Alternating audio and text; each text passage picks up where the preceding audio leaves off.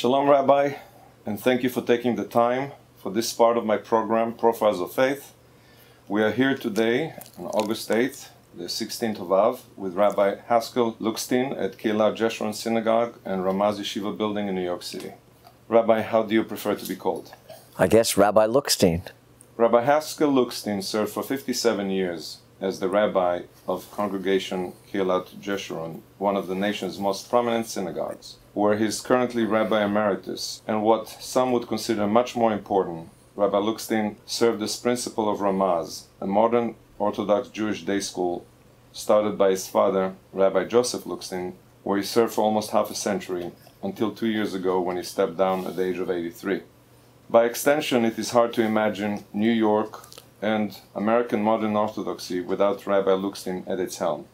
Obviously, Rabbi Lookstein has many other accomplishments, both as a Zionist, leading an uncompromising, passionate support of Israel, as a social activist, where it is hard to see the transformation of Soviet Jewry without his leadership, and as a modern Orthodox centrist who advocates for a more open Orthodoxy, Ahavat Israel, especially Jews we don't agree with. But to those who know him, is a warm, inclusive, Baal Chesed, generous rabbi who wants every Jew to get closer. Rabbi, we have so much to talk about. We'll have to skip a lot, but my theme is about tradition and its transmission through the generation. I know that you enjoyed a rich Jewish tradition at your home, from your grandfather-in-law, Rabbi Moses Zavulun Margolis, to your father, Rabbi Joseph Lookstein, and your mother Gertrude, whose advice you have followed even as a rabbi. Can you tell us about your family? Well, Rabbi Margolis, uh, the Ramaz, Rav Moshe Zvulun, was actually my great-grandfather. He was my mother's grandfather and he was the rabbi of this congregation, KJ, from 1906 to 1936 when he passed away. My father came in 1923 as the English speaking assistant to Rabbi Margolis, and three years later he married Rabbi Margolis' granddaughter. So I really didn't know Rabbi Margolis well. Uh, I was four and a half when uh, he died, and while I was close to him, I actually have no recollection of him, except in stories that my father told me about him. And to some extent, I've modeled my life after those stories about the Ramaz. My major influences at home were, of course, my father and my mother, and a grandfather, my mother's father, who was born in America in 1882, one year after his parents immigrated from Krakow. Uh, that grandfather, who only went through the eighth grade because he had to help support his family, was a major influence on my life in terms of my music, my love of davening, my love of Kriyas HaTorah. I got all of that from him. From my father, I learned how to be a mensch, how to be a baltzedakah, to be concerned about other Jews, how they are developing as religious Jews, how they are functioning as human beings. Um, and I learned, I guess, from my father the principle of avdus, servitude. He used to say that a rabbi is an eved la'avde Hashem, a servant to the servants of God. That's what I saw in my home. And that's what I learned also in 23 years when I was my father's assistant, from 1958 until my father passed away in uh, 1979, actually 21 years uh, of watching him closely in action and being mentored by him. You became a rabbi in full position at 77? In 1979, I ceased being assistant or associate rabbi. It didn't really make any difference what the title was.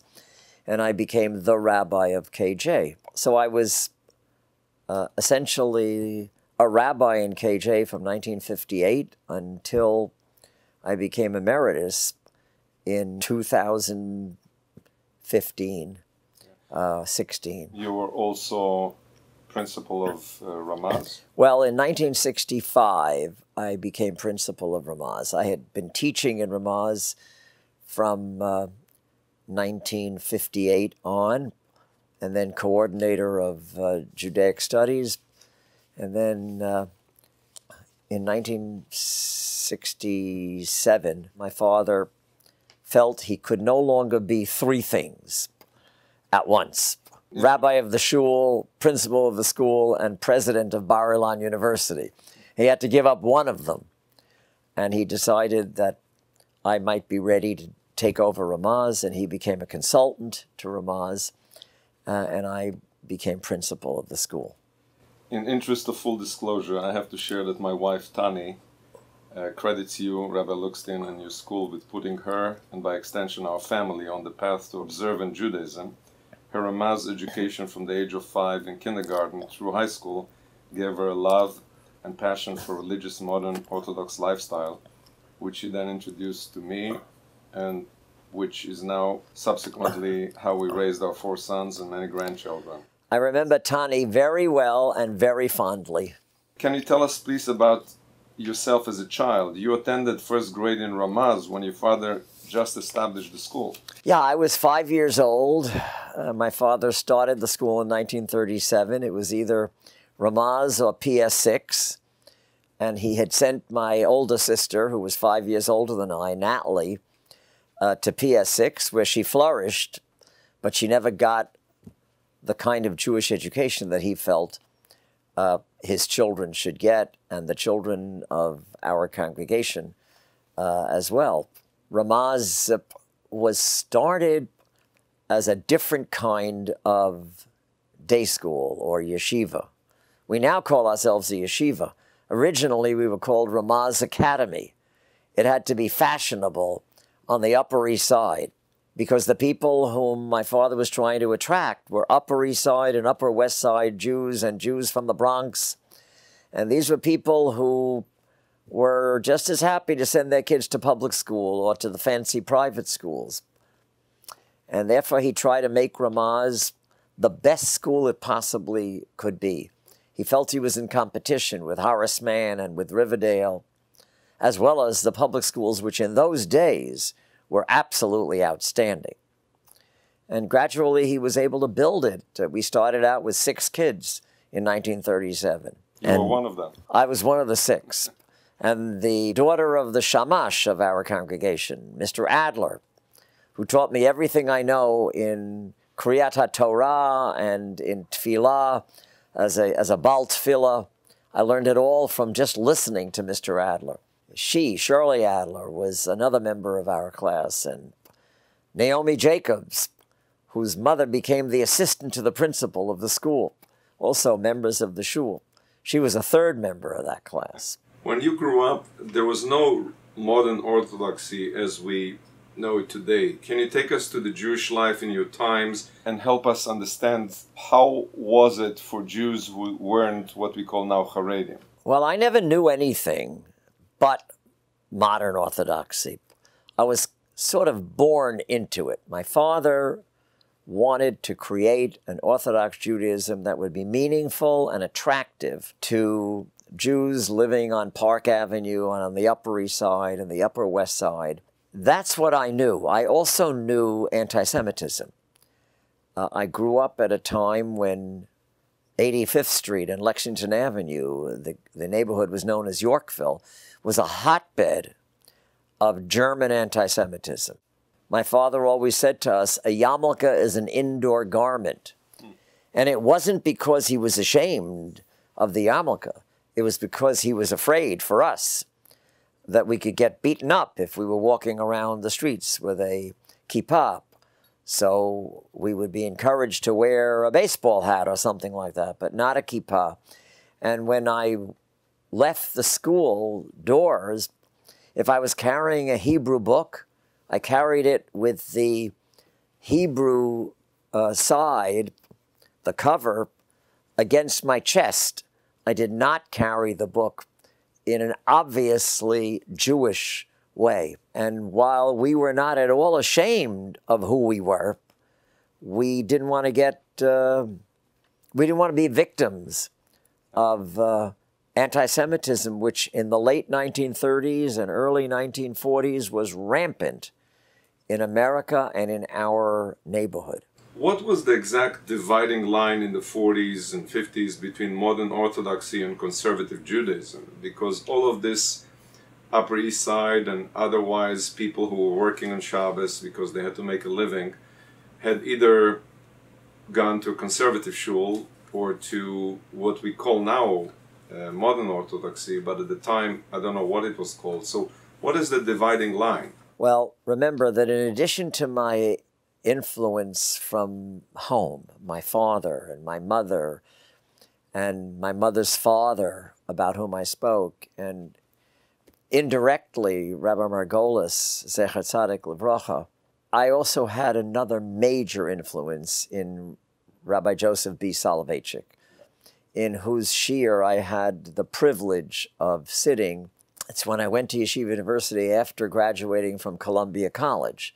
I graduated in January of 1953, and uh, I entered the Rav shiur, and I was there for four years through 1957 58. Those were the four most formative years of my life. And I learned there the difference between Orthodox Judaism of any variety, modern or ultra, whatever, and conservative Judaism was an uncompromising commitment to halacha. That's what Rav Soloveitchik taught. Yikov Hadin Esahar. You have to be committed to halacha. And it was a wake up call for me and for my uh, fellow students at yeshiva. That's why he made such a fuss over the mechitza. He felt the mechitza was the Maginot line of uh, the Orthodox community. If we would go to a shul without a mechitza, we would become conservative. If we insisted on a mechitza, we could preserve Orthodox Judaism.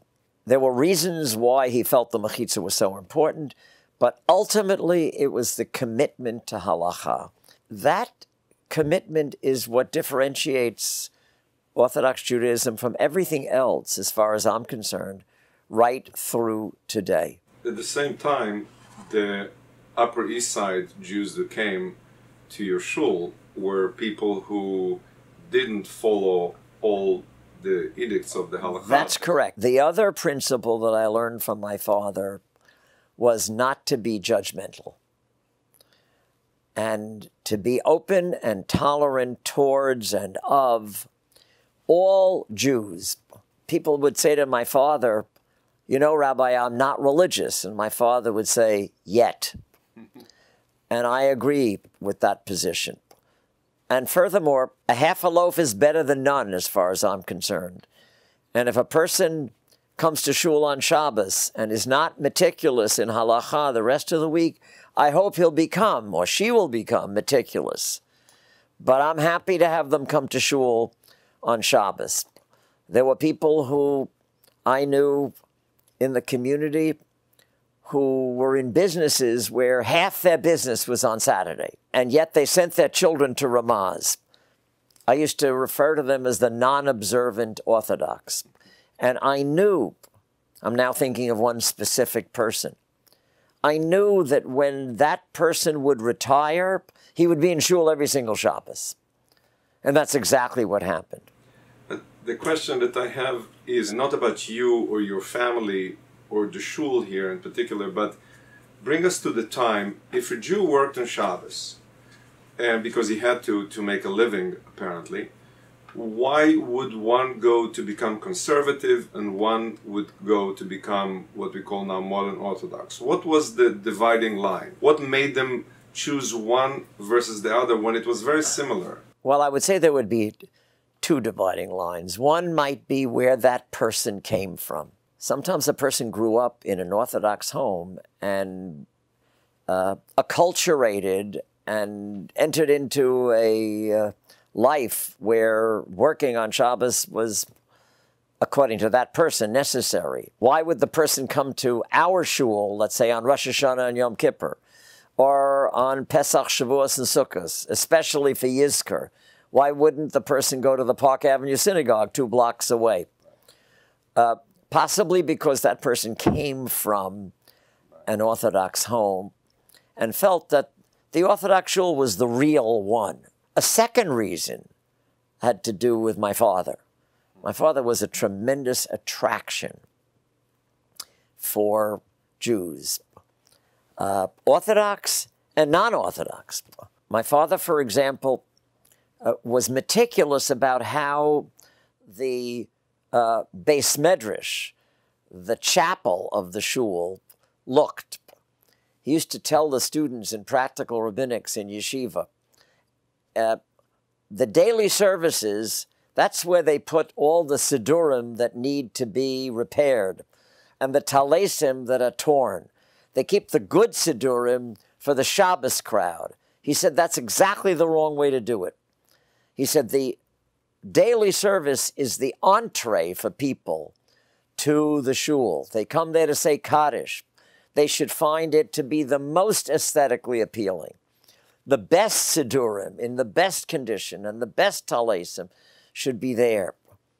My father had a knack of attracting people to the shul. He was a gifted speaker perhaps sui generis as a, an orator. You learned it from him. Well, I tried to learn as best I possibly could. Uh, I could go on for 50 years more and not be able to shine his shoes. My father was a uniquely gifted preacher. He spoke extemporaneously, not unprepared, but extemporaneously.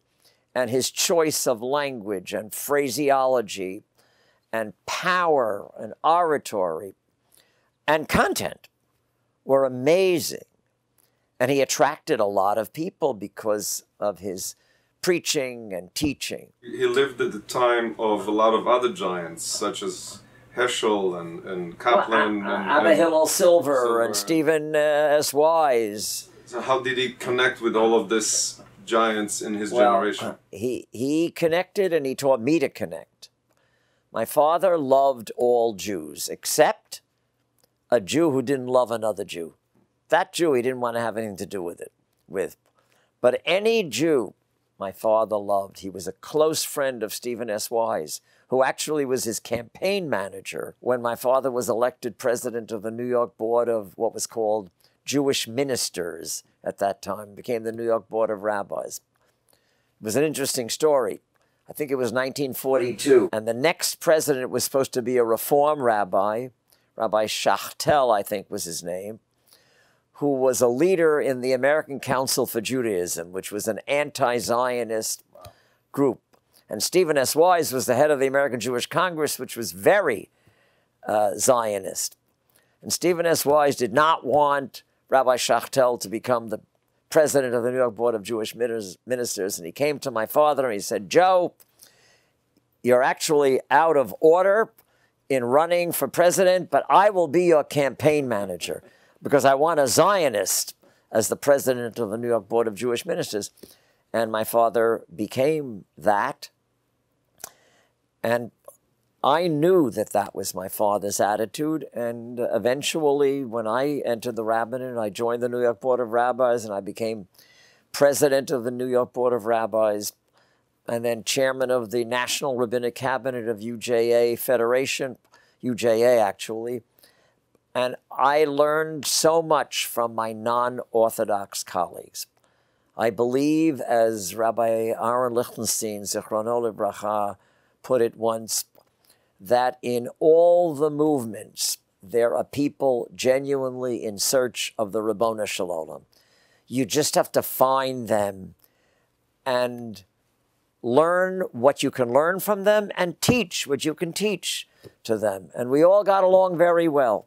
Part of the attraction, I think, of, of building Ramaz, from what I heard at the time, was that Jews did not have to look like those in now what we call Borough Park or Brooklyn or the Black Hat. And there is some hint to, because many of them came from Europe, uh, something to do with the Enlightenment, reminding us of the 19th century German period. Can you direct me in this? There, in, in, yeah, I, I, think I don't. I don't agree with you. Um, with respect, Ramaz was modeled after the Torah im Derech Eretz movement of Rav Shamshon Raphael Hirsch, except he was not a real Zionist. Uh, and we were always very Zionist, even before the establishment of the state, perhaps especially before and certainly thereafter. It wasn't that we shouldn't look like them. It was people thought that only poor Jews went to yeshiva. My father wanted to make a day school attractive to Jews who were in all economic classes. Uh, and he also felt very strongly that if you spend from 8.30 in the morning until 4 o'clock in Judaic studies and then learn three hours of general studies, what were called secular studies uh, in those days, uh, you were giving short shrift to secular studies.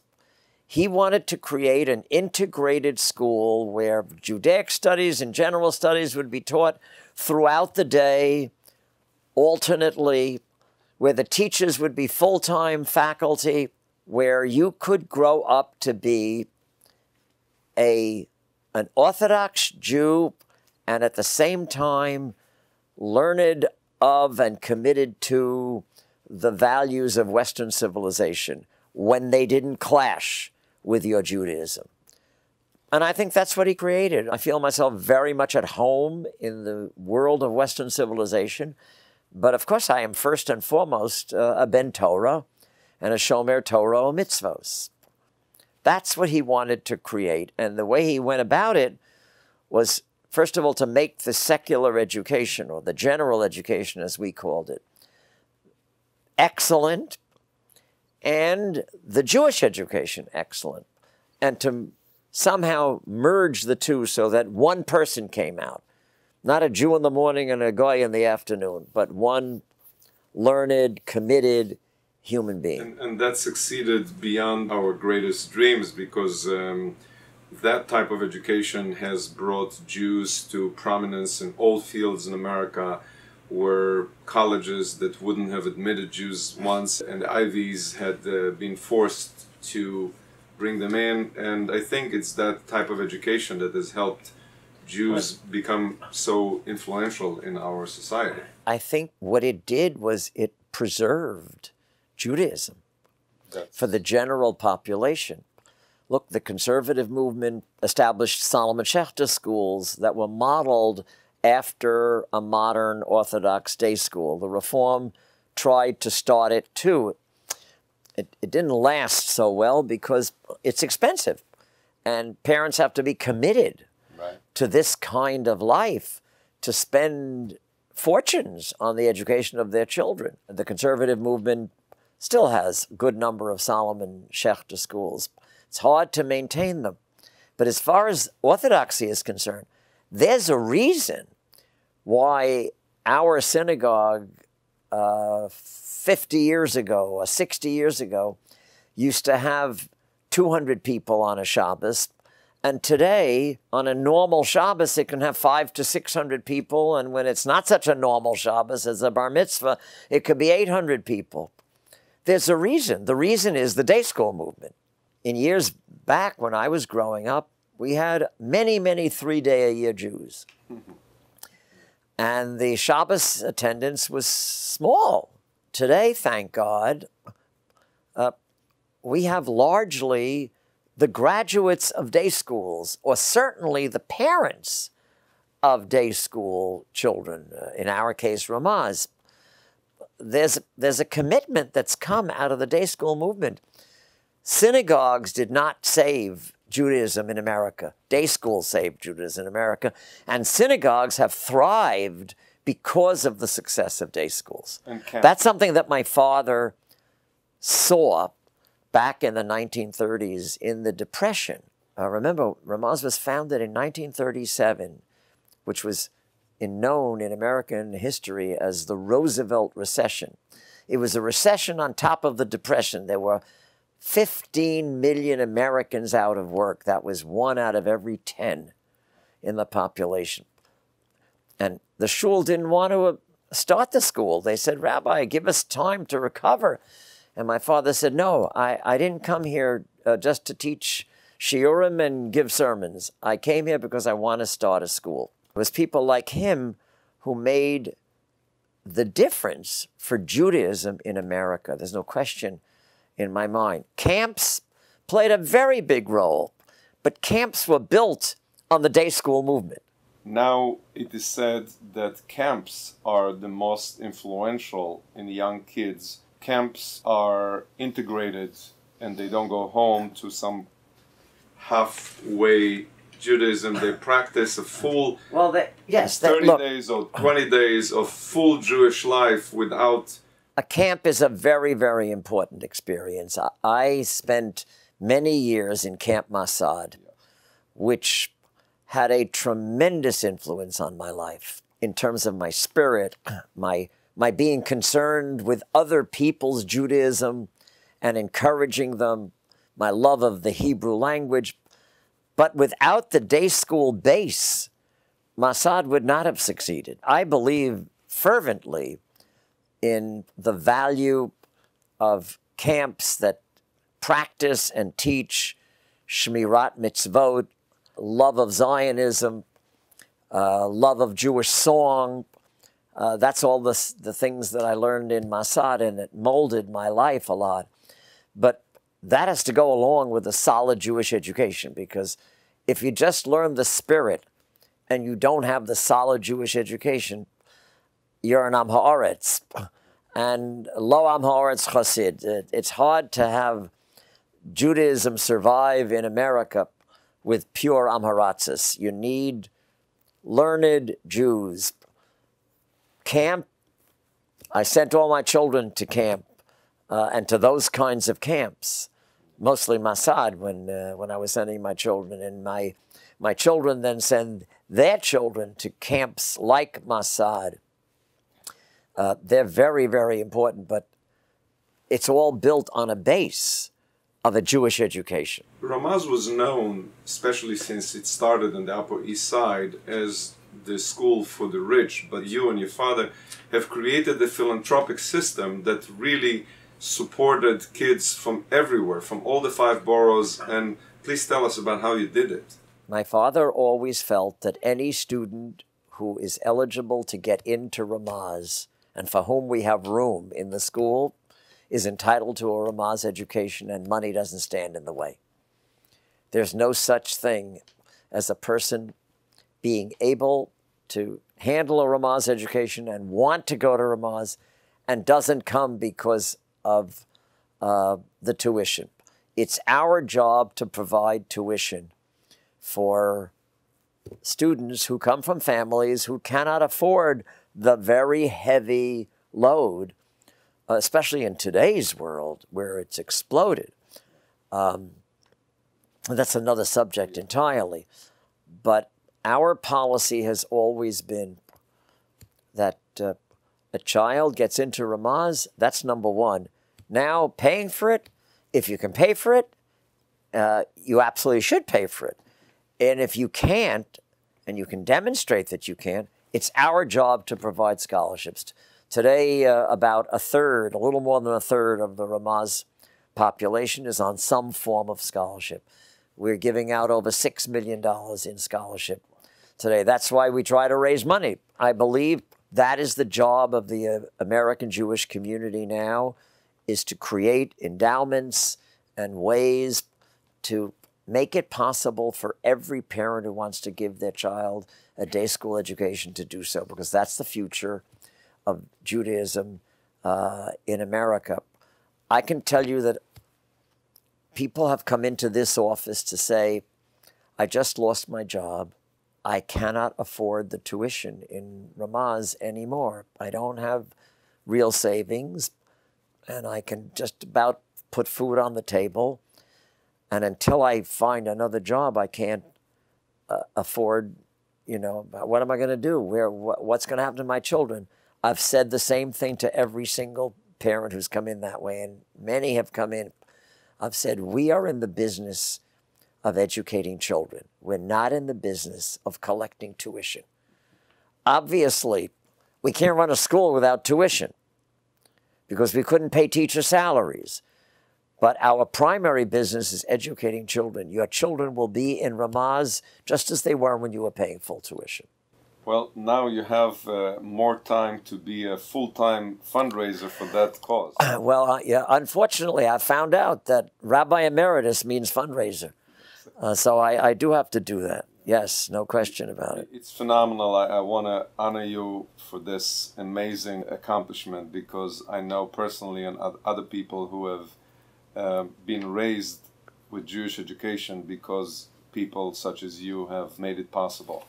Going back to your childhood, between your great influence from your father and before you attended the Rav's Shirs, growing up in a society that was a little difficult to be Jewish, did you have any doubts, conflicts? Did you ever think, why do I have to do it? Did you ever think maybe we could do it a little less? Not to diminish any commitment, but a lot no. of people. No, it's an interesting question. I went through my own crisis period, I think, in Ramaz in the eighth grade, where I was the most rambunctious child in the class.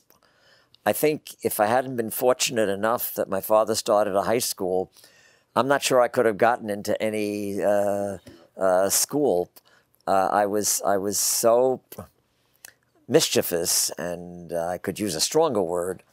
It helps me, by the way, when I see an eighth grader applying to Ramaz, and the he has a mixed kind of background in the eighth grade. I think to myself about myself, and I think, you know what? Don't judge a person by the way they are in eighth grade, whatever the reasons were. But I never had actual doubts religiously. I, I was never a rebel. Perhaps that's because my parents never demanded obedience from me. My father modeled for me. My mother modeled for me and for my sister. And therefore, I just grew up very naturally. I didn't have a crisis of faith in my life. I'm not saying that that's normal. It may be a little bit abnormal, but that was never really an issue for me. And then when I got to yeshiva and entered the Rav shiur and, and, and then started listening to him in philosophy, I found out why everything makes sense. I absolutely found out why everything makes sense. And it just reinforced where I was uh, before. So I'll ask you question in the reverse. When do you remember yourself feeling God independently, not just as a son of your father or grandson of your grandfather, but feeling God independently for the first time? An epiphany, if there is anything like that. I had no epiphany, but I have to I, I can't accept fully what you just said. I never felt that I was accepting Judaism because of my father and that it was expected of me. One of the wonderful things that my father did was he never said to me or to my sister, Look, you have to do this because you're the rabbi's children. You're obligated to come to shul because it doesn't look nice if you don't come to shul. I never heard that from him. And I believe I never said it to my children either. They all just grew up naturally. Whether they felt some kind of an inside feeling, well, I got to do this because I don't want to embarrass my father or my mother, I can't control that. But we never did that to our kids, and my father never did it to me. Um, so I never had an epiphany. I can tell you, I had a moment in my life when I think I became emotionally a Zionist, and that was in Camp Masad when I was 13 years old, and it was Tisha B'Av night, and we sat on the floor in Ulam Bialik. I didn't really know much about what Tisha B'Av was all about. I knew it was a fast day and that I was now 13 and I had to fast even if if I died, I had to fast. So I was nervous about the fast, but I wasn't really thinking about what the meaning of Tisha B'Av was. And then there was this old man who was reading from the uh, Agadot of the Talmud about the destruction of the temple, and he was crying. And I remember being incredibly moved by his crying. I did not understand fully what he was reading, but I knew it was about the destruction of Jerusalem and the temple and the Jewish state.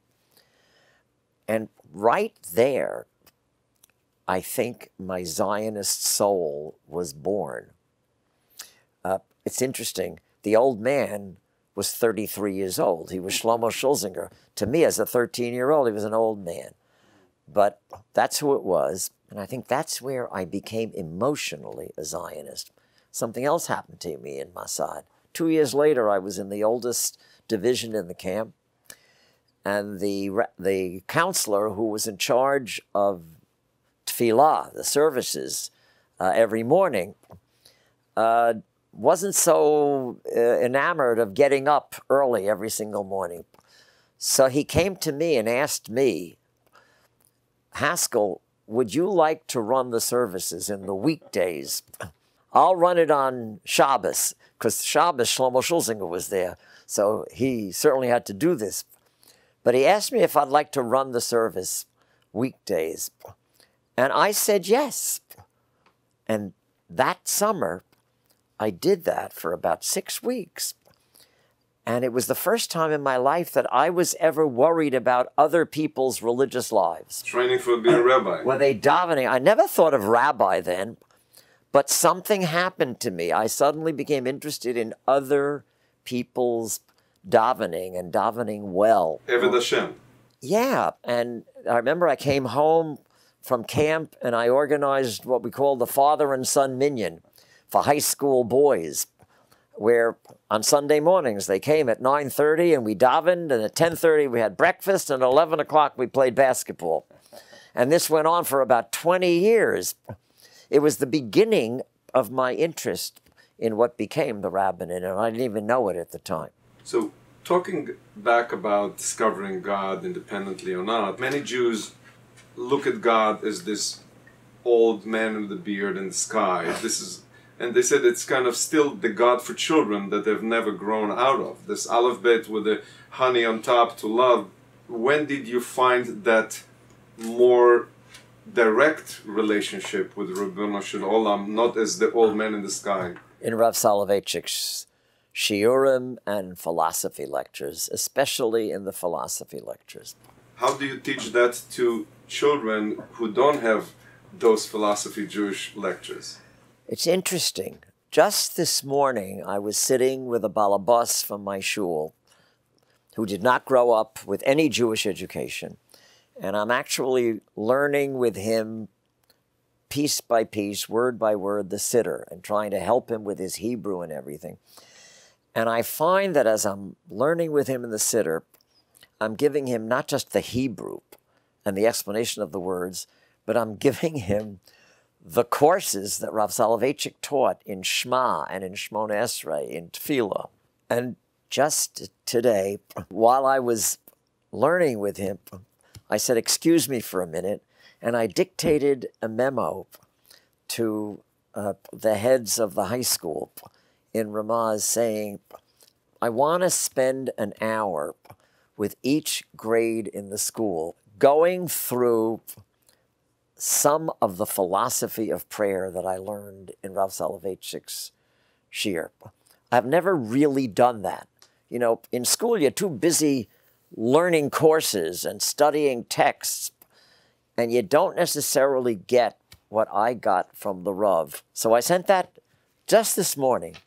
And with God's help, uh, I hope they'll find time in the schedule, and I will, I will uh, do this. You mentioned the Tisha B'Av in camp. I was very affected last year when I was looking through the Koren Kinot Oh. and I saw your introduction, and it really helped me connect with that year's Tisha B'Av. And when we spoke on the phone, you told me of the story how you went to Israel right after the 1967 and you attended the Tisha B'Av at the Rav Goren's shul. Can you tell us about it? Oh my heavens! We, it was erev Tisha B'av that we arrived in Israel to see the results of the Six Day War, and we went to Rav shi- uh, shul for kinos. and it was like a party. It was not what I was used to from Masad, sitting on the floor. Yeah, the people were sitting on the floor, but they were so exhilarated. I understand why. The Messiah had arrived in the Six Day War. This was, uh, this was the Geula, the redemption. We had Jerusalem for the first time in That's 2000 right, years. and the kotel and, and everything. And Rav Goren finished reading Eicha and starts to read Kinos, and at a certain point, he just closed the book and said, Maspik, enough. Let's go. And I was terribly offended. Terribly offended because to me, Tisha B'Av, back from the age of 13, was Kodesh Kodeshim. This is the Holy of Holies. This was why we got Israel back in 1947, 1948. I was 13 in 1945 because Jews cried for Tisha B'Av. And uh, as Napoleon said, a, a, a people that will remember a temple that was destroyed will yet rebuild that temple. But you understood him. He blew the first person to rabbi to I understood. Rav Goren, but I was very, very disappointed. And then the very next year in June, Rav Soloveitchik gave one of the shiurim that stands out in my head so much I've never had to go back to my notes on it. I just remember exactly what he said, why we need Tisha B'Av today in 1968. And he basically answered that question with three answers, which appear in that introduction to the Kinot of Koren, uh, the Lookstein edition. And I had the privilege of, of writing that introduction as a memorial to my wonderful and beloved uh, teacher. It's wonderful to have heard it from you directly. It is more than a century since KJ had a non Lookstein rabbi, and your son, Rabbi Joshua Lookstein, is heading now Westchester Day School. And doing a great job. Absolutely. Do you wish he'd continued your legacy? Well, I never put that on him, ever. Everybody expected him to. That's right. I think people in the shul did when he was very young, and I think they they may have uh, frightened him a little bit about that. But he did go to yeshiva on his own, and and uh, got smicha, got a wonderful job in Stamford, Connecticut. Uh, right out of yeshiva, the the rabbi there, Rabbi Ehrenkranz, uh, uh, had just retired, and they were looking for a rabbi, and they couldn't find one yet, so they took Josh Lookstein for a year, and he was beloved there. They were crazy about him. Uh, happily, he agreed to come and be my assistant, and I thought the Geula had arrived. and he was with me for four years, and the shul loved him, absolutely loved him, but he did not love the pulpit rabbinate. And so he decided to leave. The shul, the people in the shul were so upset over it. But that's what it is. As I said, people think that between your job as rabbi of KJ and your job as principal of Ramaz, there's no doubt that your principalship is what shaped many generations of uh, Jews. And uh, I think that he made, if, if he had to choose one, I think it's a great job to be a mechanech. Oh, I'm thrilled with what he's doing. He, he, he left, he went into the fundraising uh, aspect in Judaism, and he was doing very, very well. But somebody at Westchester Day School thought of him as a possible leader of that school. They thought out of the box, and I believe they discovered gold. And I'm thrilled that he found his niche because he's he loves children, he loves teachers, he even loves parents. and that's terrific. It's a, an unbeatable combination. To a different direction, in the late 60s, just as you started your tenure as principal of Ramaz School, the New York Times devoted an article to a sermon in which you described the Talmud as the model for modern civil rights movement or manual, which at the time was the right time to say, to do it. In the sermon, you characterized our Torah as one of the most profound sources for social consciousness during the civil rights era, and went on to explicate the relevance of the Talmud, noting, for example, that it holds that no man is free if he does not have economic opportunity or the right to live where he chooses. Right. How did you come up with such amazing insights? Thank you very much for the compliment. Uh, Ukrasem dror ba'aretz l'chol yosheveha, and proclaim liberty throughout the land to all the inhabitants thereof. What's what it, it appears on the Liberty Bell in Philadelphia. The word dror, the Midrash translates dedaire be daire, which means to live. You have to be able to live wherever you want to live. If you cannot, if you have to live in a ghetto, that's not uh, a, a, way to live. A, a tzipor dror means a, a bird that can alight wherever it wants and live there. And that's a principle of the Torah that you have to be able to live in a reasonable place. Remember, this was the time when the, the uh, Black Revolution was going on.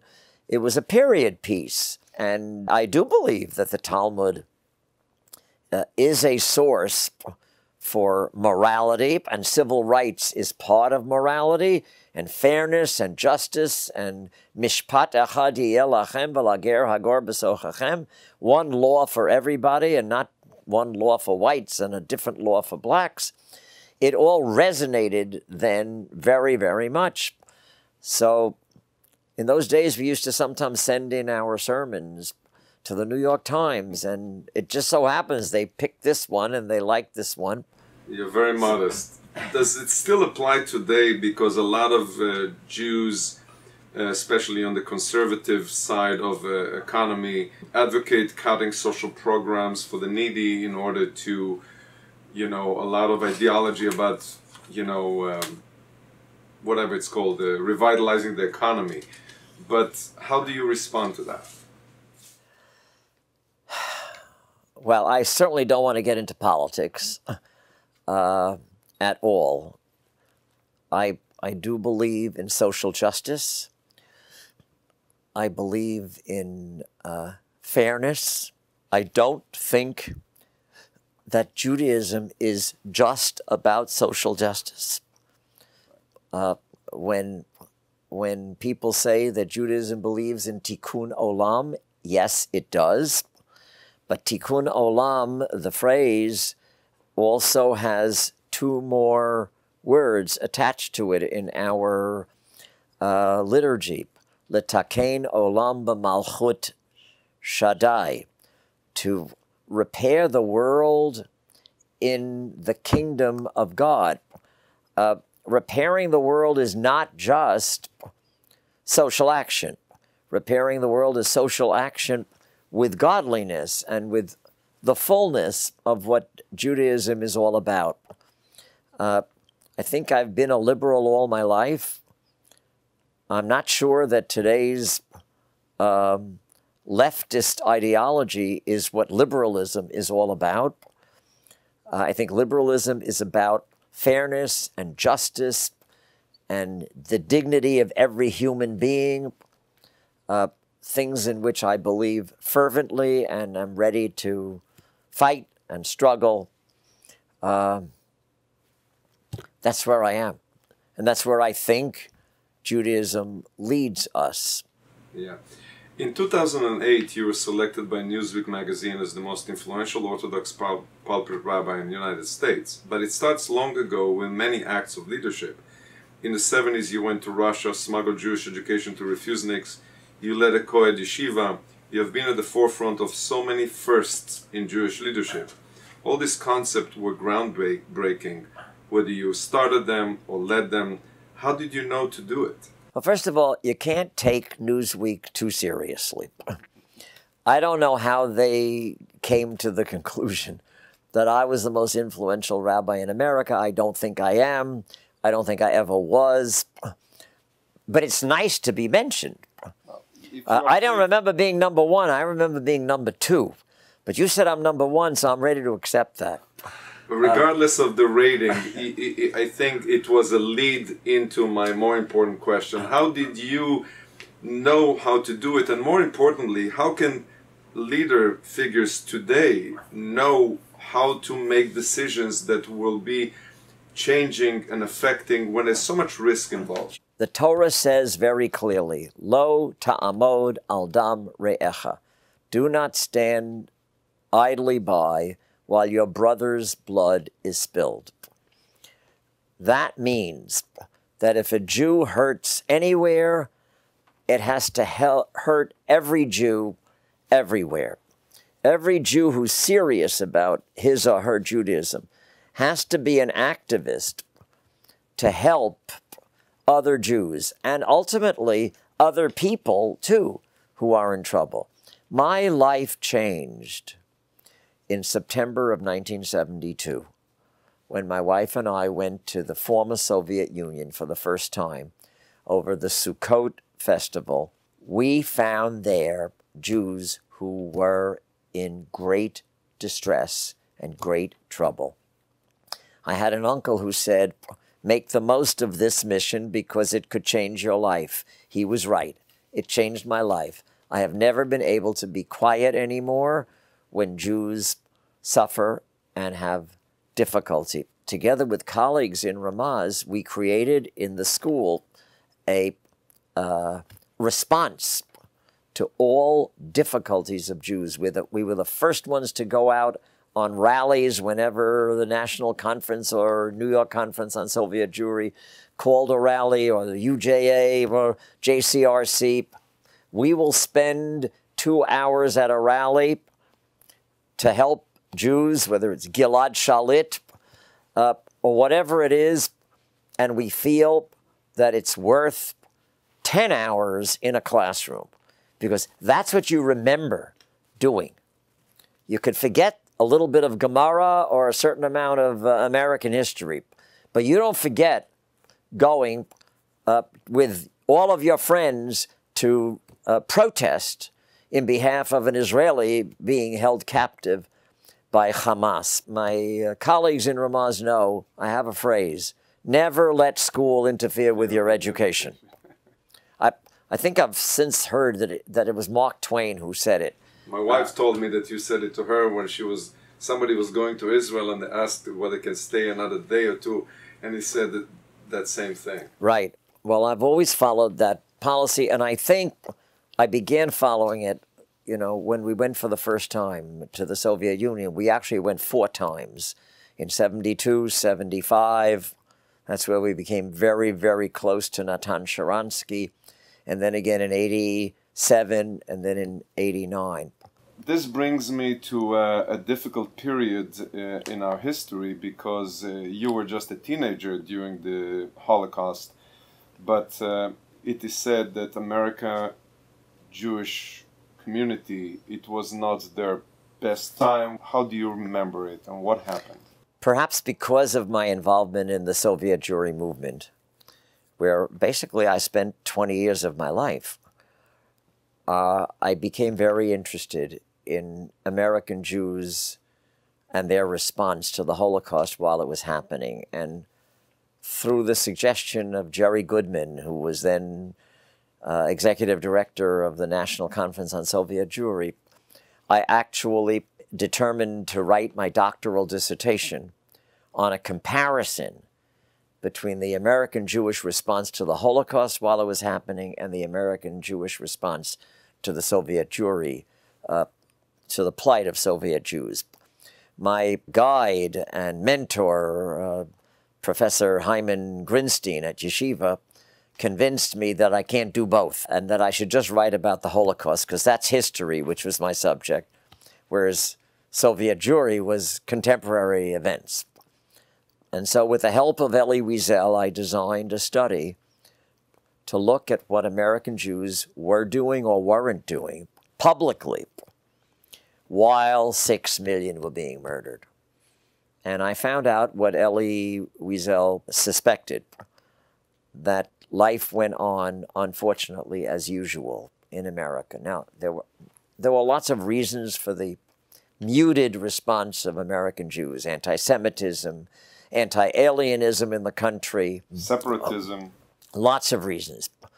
But what was most disturbing to me was that consistently through the Holocaust, we were conducting business as usual. American Jewry publicly was conducting business as usual. and not focusing on this huge tragedy that they knew was happening, because I demonstrated in my dissertation that the knowledge was there, but somehow the reaction wasn't there.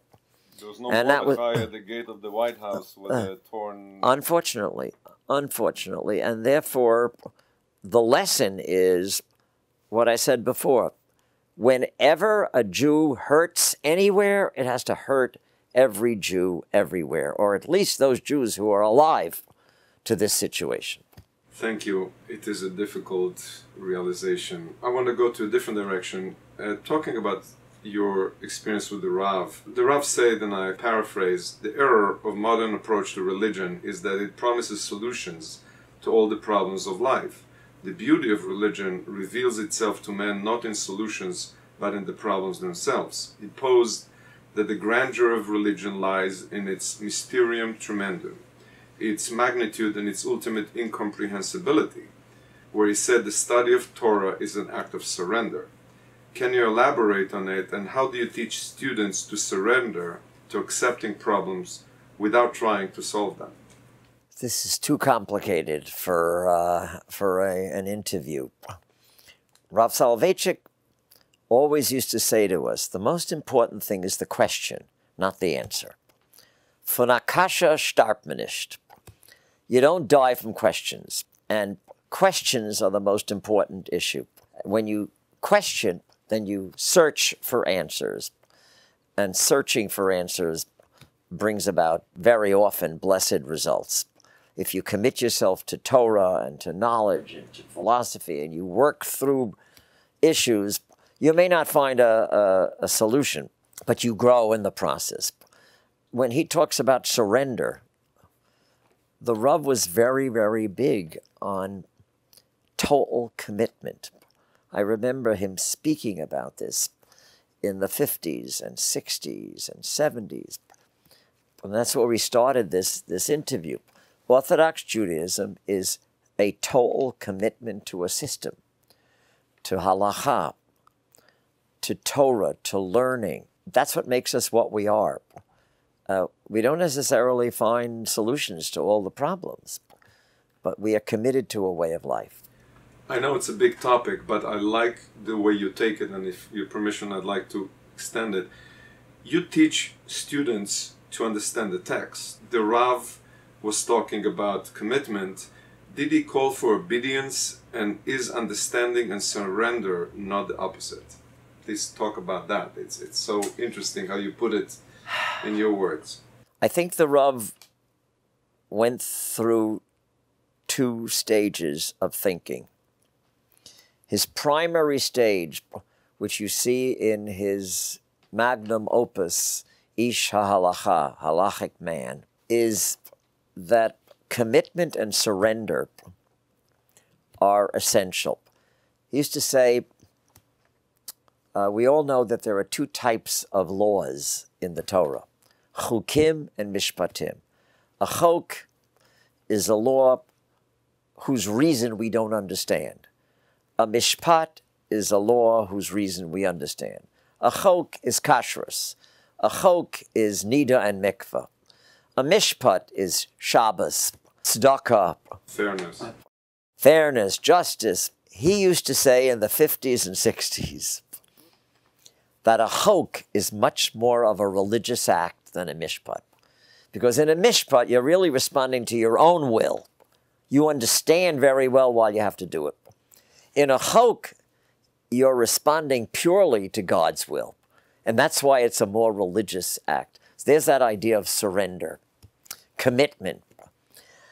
I think in the 1970s, he began to soften a little bit, maybe as he got older, and began talking about the meaning of mitzvos more so than he was doing in the 50s and 60s. I may be oversimplifying, but I can tell you an anecdote. He has a beautiful story in Ish HaHalacha about his father, Ramosha Soloveitchik, going over to the Shamash in Yeshiva, who, when he made the bracha over the shofar, broke down and cried. Asher lishmoa kol shofar. He was crying over that bracha.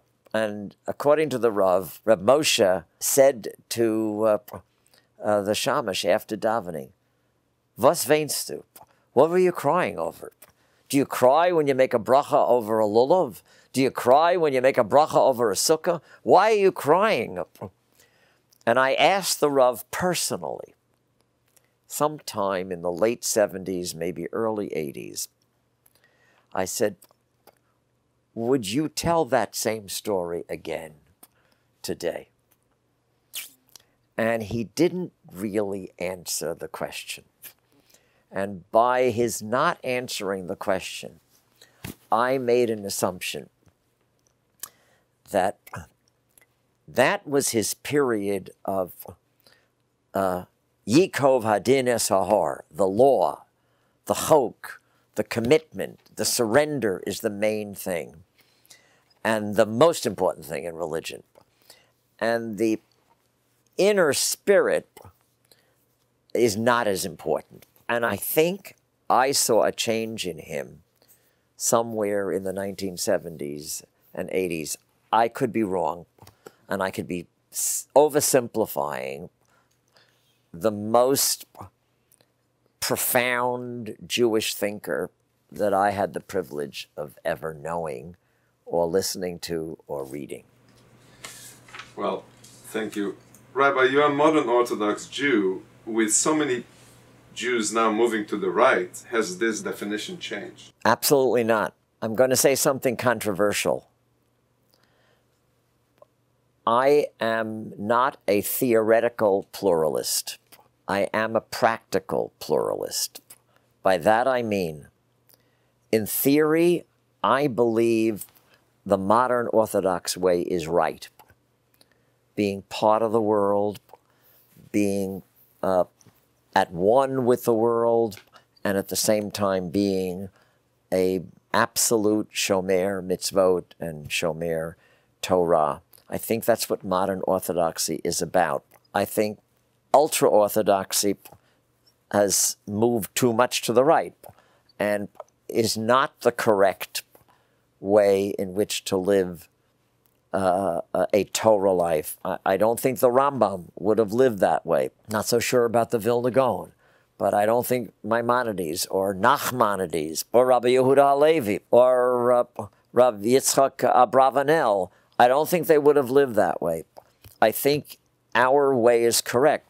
I also do not think conservative Judaism and reform and Reconstructionism are right. This is in theory. I think our way, the middle way, is correct.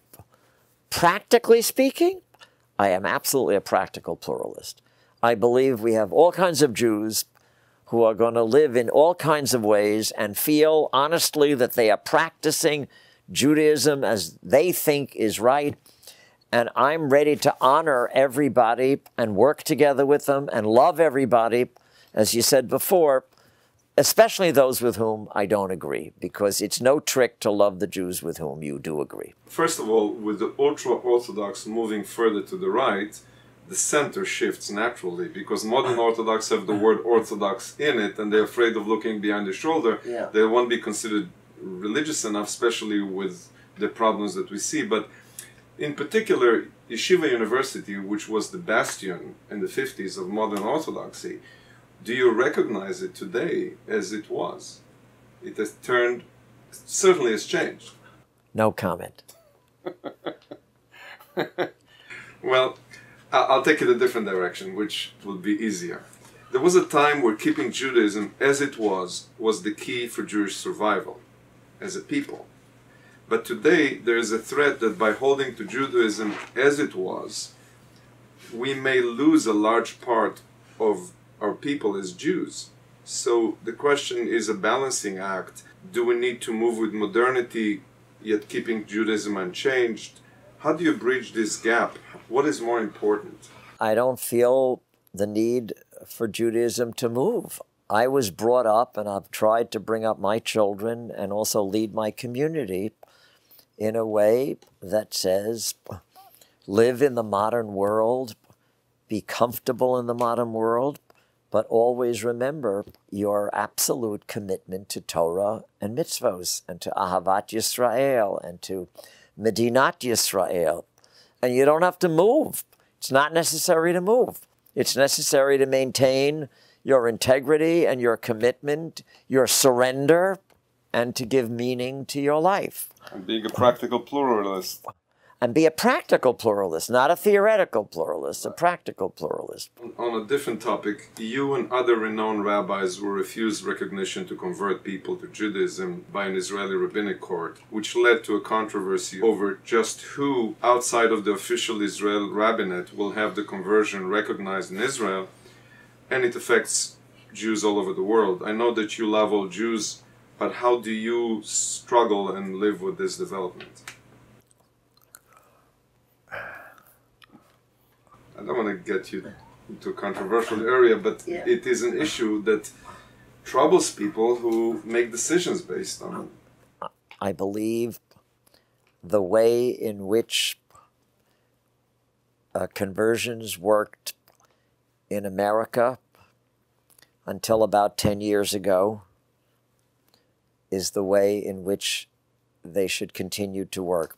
Sincere rabbis who practice halacha and love Torah and mitzvos should do the best they possibly can to convert people who want to become part of the Jewish people for whatever the reason is. And just as their conversions were honored until 10 years ago, they should be honored today a centralized system is essentially a gatekeeping system to keep people out. We should not be gatekeeping, we should be welcoming. Thank God we live at a time when many non Jews want to become Jewish, either because they want to embrace Judaism or because they want to embrace a Jew, which is okay, as long as they do it the right way. And if we're doing it the right way, which I believe I have been doing and many of my colleagues have been doing, their conversions should be honored. And just as I used to go years ago, somebody would come to me and say they were converted by Rabbi so and so. If I knew Rabbi so and so, I knew whether I could rely on him. If I didn't know Rabbi so and so, I called Rabbi Israel Klavan, the executive director of the Rabbinical Council of America, and asked him, Can I rely on him? And Rabbi Klavan said, Yes, you can rely on him, or no, I think he's a little bit loosey goosey with, with conversions. We did that, and most people were reliable. And I don't know why we don't have trust in honest, hardworking, sincere Orthodox rabbis who are trying to do a good job. Well, I think that you know that he's been politicized mainly because religious leaders are now part of the Israeli government for whatever reason it is, and which had led to some Haredi control of religious institutions. What does it mean to the future relationship between the different parts of the Jewish world, and especially the relationship with Israel? My relationship to Israel is not going to change, of course. no matter what goes on in but, the chief rabbinate but our, our institutional Jewish relationship, we are in, they say, the gates of Geula. You know, has, has there been, we know history. I think we live in one of the most blessed periods in Jewish history. We are blessed with Medina Israel. We are blessed with a growing Torah world in the full range of that world. we are living in an America where we have all kinds of opportunities and freedoms. If, if you look at the history of the Jewish people, we were always at risk. We started out our uh, existence as slaves. We were like a fiddler on the roof in Poland for a thousand years, there were good times and bad times. The, the good times were terrible. We have none of that today. Do we have problems? Yes. We have very serious problems of assimilation, which are very troublesome. The, the, the Jewish population is dwindling. And it's only because of a very high rate, uh, a birth rate in the Haredi world, and a healthy birth rate in the modern Orthodox world, and a healthy birth rate in Israel, that we're not disappearing.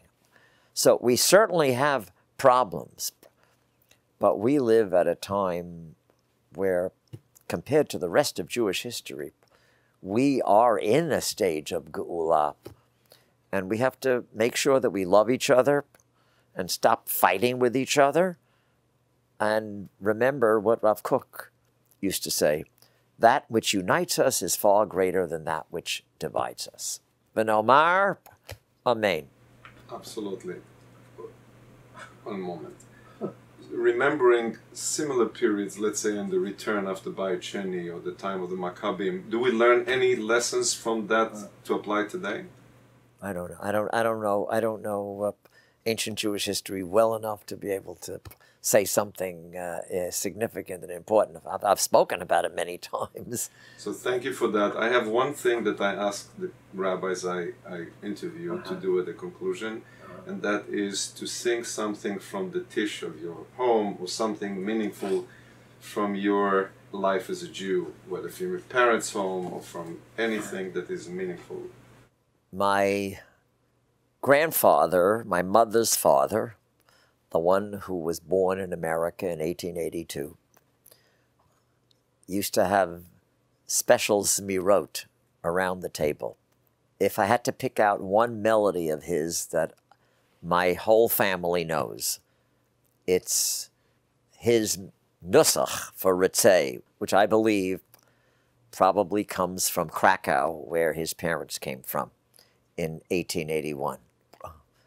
Ritzei v'hachalitzenu Adu Shem Elokeinu b'mitzvosecho ובמצוות יום השביעי, השבוס הגדול והקדוש הזה, כי יום זה גדול וקדוש הוא לפניך, לשבוס בו ולנוח בו ביהבו כמצוות רצונך. Uvertzonach hanach lanu ad Hashem Elokeinu shalo seheid sorov yagon v'anacha biyom menucha seinu v'harenu Adonai Eloheinu b'necham maszion irecha uvevinyan Yerushalayim ir kodshecha Ki atahu bal nechamos. That's an anthem in my family, and it all goes back to a man who had very little Jewish education and only an eighth grade elementary school education here in the United States. My grandfather, Isidore Schlang, Zichrono Livracha, Yitzchak ben Yechezkel, HaKohen, after whom a great grandchild was just named uh, on the day before Tisha B'Av. Mazel tov for your new great grandson. Thank you. It's wonderful. So now I understand why you like davening. If everything is like this, That's what, right. it's easy. That's right. That's right. That's where it comes from. I thank you so much, Rabbi. Okay. You're welcome.